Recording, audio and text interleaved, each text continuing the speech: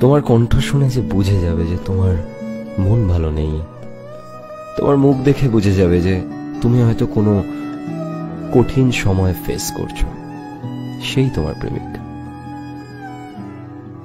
প্রেমিক তো সেই মানুষটা যার চোখে তার প্রেমিকার জন্য সম্মান সবসময় ভরপুর থাকবে। প্রেমিক হওয়া অনেক কঠিন কাজ।